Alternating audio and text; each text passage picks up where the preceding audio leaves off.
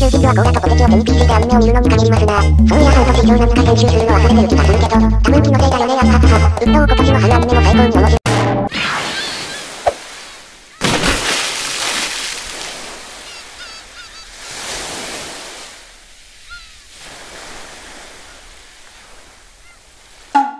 どうも、ファレンです。レイムです。マリサです。えー、動画開始早々悪いんですが、まず皆さんに謝らなければいけないことが何個かあります。まず、前回の実況から半年も空いてしまったことです。これはウプ主が実況関係ない動画を編集しまくってたのと遊んでたのが原因です。大だですね。それと前回のラストで PV がどうこう言ってたじゃないですか。制作中止になりました。制作にかなりの時間がかかってしまうとか言い訳にならないことほざいてまして、動画編集を優先ということで、やむを得ずこうなりました。そして最後に、今回の動画、一部訪れしてます。一部無音 &BGM でごまかしてるところがございますが、そこはご了承ください。久々の救ってがこんな形で始まって本当に申し訳ないぜ。すべての原因のウプ主には現在海の底に沈んでもらってるので、それで許していただけると幸いです。うーん、訪れがひどすぎるから BGM でごまかすとは言ったものの、何を流せばいいのか悩むなあ、はいはいはい。選曲のことなら私に任せてちょうだい。不安要素しかないんですけど。今はどうしようもないからとりあえずレイムに任せてみるか。もし変な曲流したら切り殺せばいい話だしね。あれこれ失敗はしだって感じ？まあけど今回の選曲は自信あるから大丈夫だと思うけどね。はいポチッと。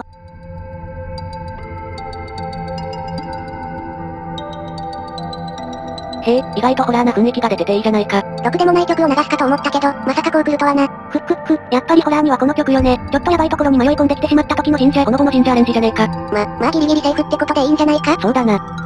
さて、今は地下室に来てるわけだが、スイッチと、それを押してる時だけ開く箱があるな。通路にあった棚を、スイッチの上に移動したらいけるかもだぜ。なるほどな。最近のゆっくり実況者はスマブラやってる人が多いよね。私もやりたいんだけど、そもそも持ってないのよ。あ、欲しいよな。任天堂スイッチ。で、そっちのスイッチちゃうわーい。あははははははは。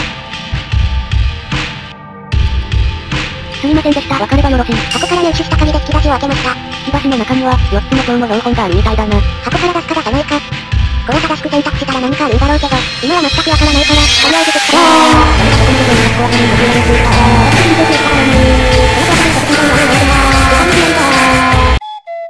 さっきの今日の標本は、パート3の最後に出てきた本。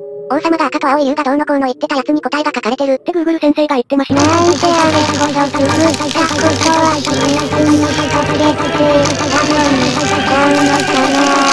本に書かれてる優の角と、蝶の触覚の特徴が一致しててだな。青い優が良い優、つまり出すべき蝶は触覚が片方のやつとないやつの2匹ってわけなんだ。って Google 先生が言ってたんだけどな。はい、じゃあ触覚のない蝶と片方だけの蝶を出していくよ。はぁ、はぁ、なんとか、泳いで、帰ってこられ。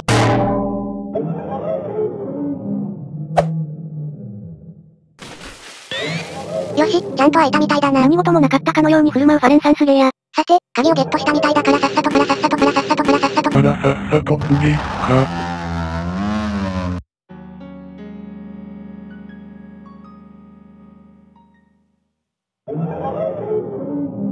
はい。乙姫様、大きなドラム缶拾ってきました。花碗燃やせ。早いさ。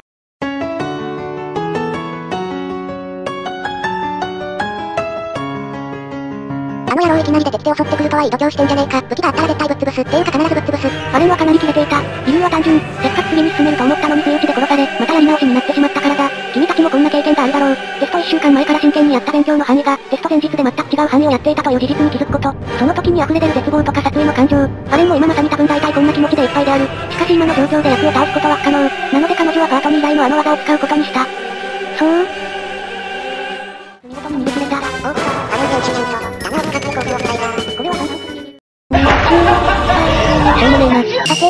先はどうなって。無理だ。諦めんなよはい、セーブして。セーブして、息吸って。スー、吐いて。はー。セーブしたから大丈夫。セーブしたから大丈夫。もう何も怖くない。もう何も怖くない。突撃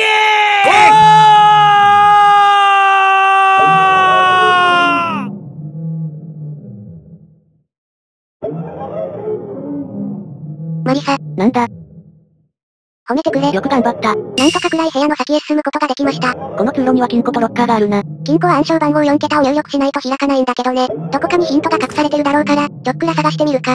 あ、タンスがある。うーん、触っても反応しないな。とりあえず他の場所行ってみようか。そうだな。ってなんか落ちてきたまずいぜ、両端から針の山が迫ってくるぜ。こりゃひどい急展開。は、ハンドルを回したらどうだダメだ硬くて回せねえ。くそ、針の山に挟まるのはウプ主だけで十分なのに。それいいわね、今度やってみるか。ひ。どすぎるわろうだこんなら連打にかけるしかねえ。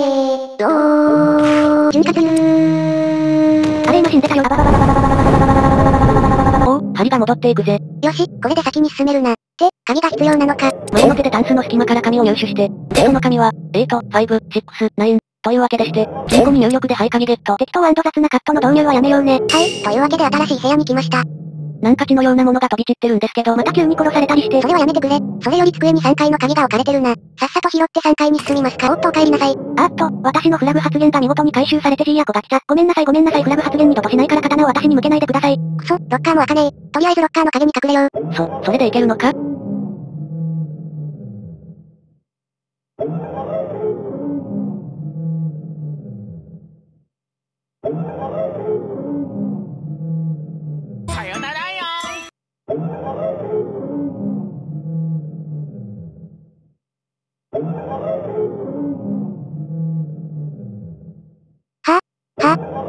くいった？正直死ぬかと思った。無事鍵も入手できたし、さっさと3階に向かおうぜ。ああ、そうだな。帰り道。ちょちょちょちょリアコーマ。そそそそうだセーブ部屋に逃げ込んでセーブさえすれば。ってセーブポイントだねー。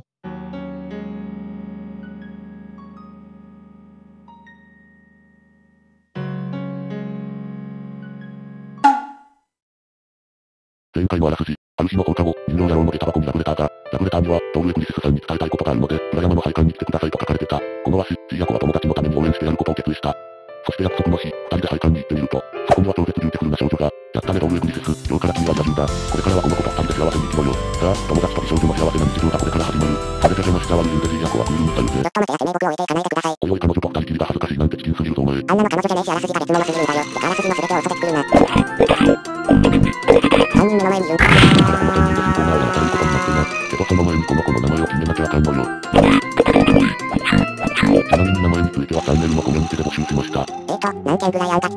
の約320件。お方は、本当にありがとう視聴者。どこに私をこの感謝さっさと選んでいきますか。ローレイムかマリサでいいんじゃないはい、それではこの子の名前を発表したいと思います。この子の名前は、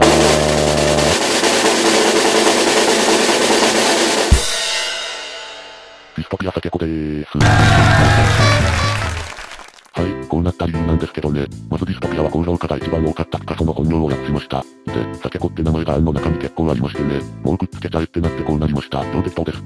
で、中にはこいつに合わないレベルの超かっこいい名前とか、面白い名前もあったので、よろしければコミュニティも確認してみてくださいね。そんで今回はここまで。次回は3人で新コーナーの茶番劇とかやっていきます。ではまた次回、ご視聴ありがとうございました。絶対に、娘